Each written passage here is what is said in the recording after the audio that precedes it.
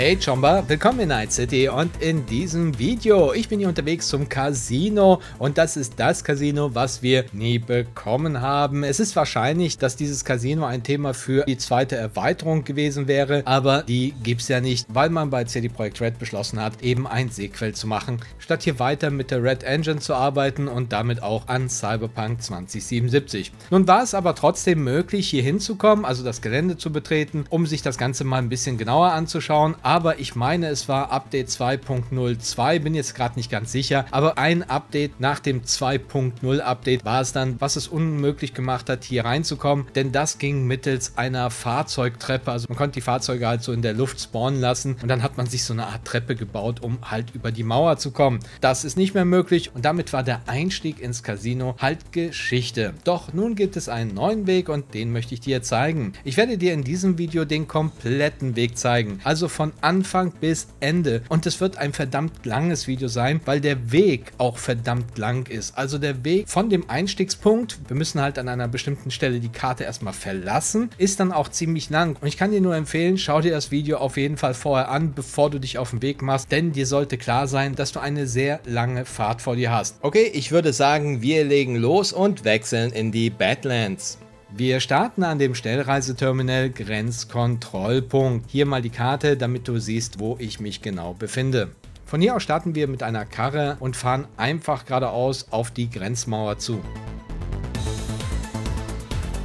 Hier haben wir eine einzelne Yucca-Palme direkt an der Mauer und da müssen wir hoch und deshalb haben wir auch eine Karre dabei, denn so können wir einfach aufs Dach und von dort aus einfacher auf die Palme springen. Von hier aus springen wir jetzt rüber auf die Mauer bzw. auf dieses Metallteil hier. Nun geht es Richtung Posten. Hier haben wir eine unsichtbare Wand. Spring einmal hoch und nochmal hoch und du wirst merken, du wirst auf einem unsichtbaren Dach landen und dann kannst du hier einfach die Grenze passieren, ohne dass du abgeknallt wirst. Hier auf der anderen Seite spring dann wieder runter auf die Mauer, also auf dieses Metallteil, lauf ein bisschen weiter, damit du ein bisschen Abstand gewinnst und dann springst du runter und schon bist du außerhalb der regulären Karte und weit weg von Night City. Du kannst hier natürlich auch ein Fahrzeug rufen. Ich empfehle dir für das Gelände, wo wir jetzt langfahren müssen, auf jeden Fall ein Motorrad. Damit kommt man am besten durch. Hier mal die Karte von unserer Startposition. Hier die Richtung, in die du fahren musst. Ich empfehle dir auf jeden Fall auf diesen Punkt drauf zu halten und von dort aus fährst du dann entsprechend des Pfeils weiter. Warum? Weil wir dadurch eine größere Distanz zur Mauer haben, denn dort gibt es einen, einen oder anderen Punkt, wo du in die reguläre Karte zurückgeworben werden kannst und das wollen wir ja vermeiden.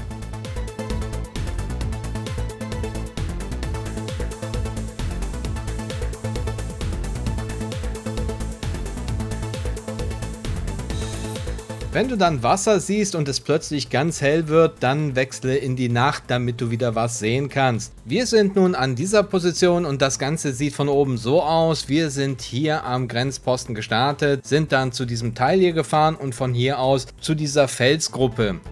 Hier mal das Ganze aus einer anderen Perspektive. Auf dieses Ding musst du zusteuern und dann musst du auf jeden Fall rechts dran vorbei.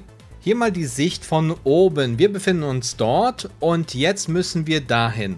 Und normalerweise würde man natürlich den geraden Weg wählen, aber der würde uns zum Teil durch die Stadt führen, was nicht geht. Dann sind wir nämlich wieder in der regulären Karte drin. Und zum anderen, wenn wir so einen Bogen machen, dann müssen wir voll durch das Gebirge und das ist super, super nervend und anstrengend, weil du hast im Boden super viele Wellen. Du kannst sogar Unfälle dort bauen. Also das macht alles keinen Sinn. Außerdem ist immer das Risiko, dass du vielleicht doch zu nah an der regulären Karte dran bist. Also ist dieser gesamte Bereich eigentlich völlig uninteressant. Deshalb nehmen wir einen längeren Weg in Kauf und zwar halten wir uns erstmal Richtung Osten. Und zwar wollen wir die östliche Kante der Karte erreichen. Zwar nicht ganz, aber so ziemlich. Warum machen wir das? Ganz einfach, weil du so die ganze Zeit auf relativ ebener Strecke fährst. Da kann im Grunde nichts passieren. Du bist so auf jeden Fall schneller mit dem Bike unterwegs, was am Ende von der Zeit her sogar kürzer sein sollte. Aber auf jeden Fall ist es weniger nervend. Das Grundprinzip ist also klar. Wir wollen auf jeden Fall die ganzen Berge und das Gebirge umfahren. Und dieses Gebirge sieht man auch sehr gut auf der Karte. Du musst im Grunde also nur darauf achten, dass du immer schön drumherum fährst. Ich lasse meine Wii jetzt mal in etwas schnellerer Geschwindigkeit den Weg fahren, damit du auch siehst, wie das da aussieht. Aber wenn dich das jetzt nicht interessiert, die Fahrt, kannst du natürlich ins nächste Kapitel springen.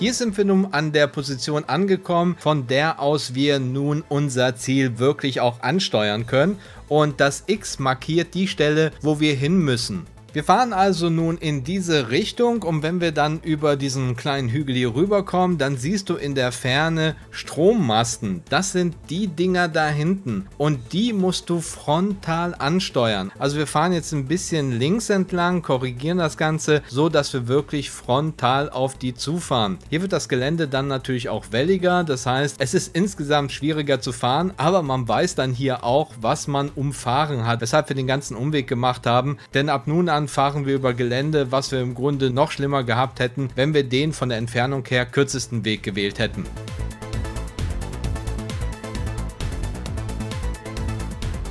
Wir sind nun hier an den Strommasten und wir müssen genau zwischen den ersten und zwischen den zweiten. Hier mal die genaue Position auf der Karte. Wir müssen nun an der Kartengrenze entlang fahren. Am besten hier mal speichern, denn du musst jetzt ein bisschen schauen, wo du eventuell das Gebiet verlässt. Da kommt dann immer die Meldung. Wenn eine Meldung kommt, dann etwas gegenlenken. Generell ist das hier nur ein schmaler Streifen, also es ist wie eine Brücke zum Casino. Rechts und links ist gleich auf jeden Fall reguläre Karte, so dass du wirklich nur einen relativ schmalen Streifen hast, den du benutzen kannst, um eben zum Casino zu gelangen.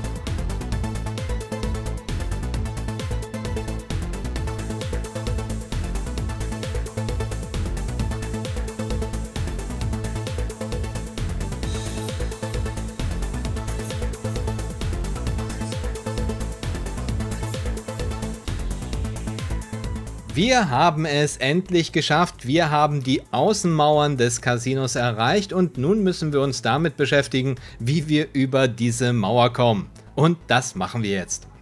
Wir laufen nun der Mauer entlang und zwar immer an dieser Kante dran. Also so, dass du wirklich mit dem Charakter gegen die Kante drückst. Ja, und dann läufst du immer weiter geradeaus, bis du irgendwann mit wie durch die Kante glitscht.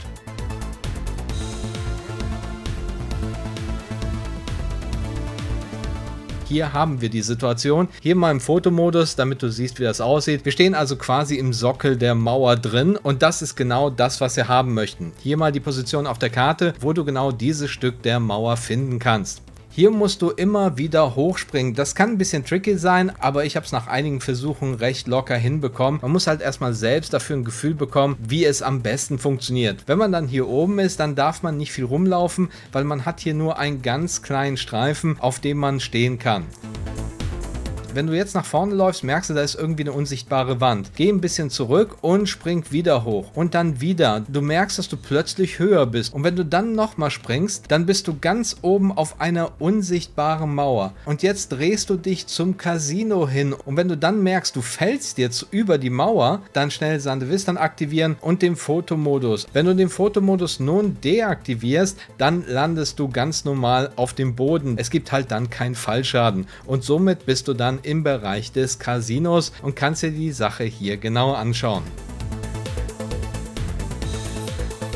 Da es nicht mehr die Möglichkeit gibt, mit Fahrzeugen eine Treppe zu bauen, können wir leider nicht mehr auf das Casino drauf. Also wir können nicht mehr das Casino, also wir können dann nicht mehr nach oben. Das geht nicht mehr. Ich habe verschiedene Sachen ausprobiert, aber am Ende hat nichts funktioniert. Vielleicht findest du ja noch einen Weg, wie man da hochkommen könnte, denn blöderweise ist alles, was wir hier an Texturen unten sehen, einfach durchlässig. Wir können da einfach durchfahren. Erst der obere Teil, der ist fest, aber da müssten wir erstmal hinkommen und ohne so eine Fahrzeugtreppe gibt es da halt keine Chance zu. Aber falls du das Casino nicht kennst, hier einige Eindrücke, wie es da oben aussieht.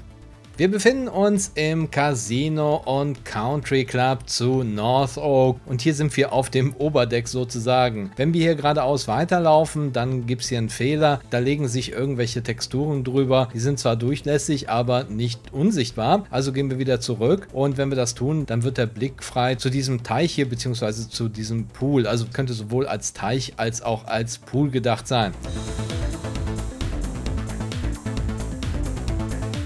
Dann haben wir hier mehrere sympathische Sitzgruppen, wo Leute dann sitzen können und eine einfach herrliche Aussicht genießen können. Wenn wir weitergehen, gibt es weitere Möglichkeiten, wo man sich hinsetzen kann und letztendlich gibt es ein bisschen weiter durch dann auch noch einige Liegen. Das Ganze ist natürlich so aufgebaut, dass man möglichst viel Aussicht hat. Einmal auf das Gelände, da hätte man wahrscheinlich noch so einiges gemacht. Pools, Golfplätze und was weiß ich noch alles. Und ansonsten hat man natürlich auch eine super Aussicht auf Night City, aber das dann eher von der anderen Seite. Da gehen wir jetzt mal rüber. Von der anderen Seite haben wir den kompletten Blick auf die Skyline von Night City. Allerdings haben wir hier auch wieder ein paar Texturen, die alles verdecken. Also gehen wir mal ein bisschen weiter. Hier gibt es auch wieder Sitzmöglichkeiten und zum Ende hin auch wieder weitere Liegen. Aber auch hier gibt es wieder eine Textur, die alles verdeckt. Bringen wir mal runter und hier gucken wir uns auch ein bisschen um. Hier haben wir jede Menge weitere Sitzgelegenheiten. Alles so lounge-mäßig. Und wenn wir dann den Weg hier entlang gehen, dann sehen wir, dass sich hier dieser Teil plötzlich verändert. Also hier wird eine Bar sichtbar, eine sehr, sehr lange Bar. Und man kann sich hier vorstellen, wie hier die Leute an dieser riesen Theke sitzen, miteinander quatschen und mehrere Barkeeper versorgen das Partyvolk hier mit besten Drinks und vielleicht auch ein paar Häppchen oder so. Auf jeden Fall geht das hier dann so weiter. Wir haben überall diese eingelassenen Sitzgruppen mit einem Tisch in der Mitte, wo mehrere Leute Platz finden. Und ansonsten gibt es dann hier noch so, so Sofas, wo man sich hinsetzen kann. Das Ganze wirkt von der Art her wie ein Schiff und ist im Grunde ja auch so aufgebaut. Das war nun das Casino und der Country Club North Oak. Und wenn du dir das Ganze hier angeschaut hast, dann fragst du dich vielleicht, wie komme ich hier wieder raus? Ganz klar, du könntest natürlich einfach einen Spielstand laden. Aber es gibt tatsächlich auch einen Weg hier wieder raus und den zeige ich dir nun. Hier mal die Position auf der Karte, wo du hin musst. Ich bin direkt an der Mauer und ich benutze einen Gecko, um rückwärts an die Mauer zu fahren. Ich habe mir eine Stelle ausgesucht, wo ich vom Boden her näher an die Oberkante des Sockets herankomme. Nun muss nur noch die Distanz zwischen Hinterteil der Karre und der Mauer stimmen. Hier musst du mal ein bisschen ausprobieren. Dann gehst du genau dazwischen, also zwischen Hinterteil und Mauer. Nun öffne den Kofferraum und wenn du die richtige Distanz hast, dann wirst du in die Mauer gedrückt. Das sieht dann so aus, also du kannst durch die Mauer schauen, aber du kannst nicht weiter durch. An dieser Stelle jetzt einfach speichern, schnell speichern und dann per Schnellladen einfach den Spielstand wieder laden und dann bist du außerhalb der Mauer. Hier mal der Anblick von oben auf der rechten Seite siehst du halt unsere Karre. Das ist der Punkt, an dem wir gerade durchgekommen sind. Und nun ist es ganz easy. Du musst jetzt einfach Richtung Night City fahren, um wieder auf die reguläre Karte zu kommen. Ja, und hier sind wir. Wir sind wieder zurück in Night City und damit innerhalb der regulären Karte. Das soll es auch schon gewesen sein. Wenn dir das Video gefallen hat, lass einen Daumen nach oben da. Vielen Dank fürs Reinschauen, mach's gut und bis zum nächsten Mal in Night City.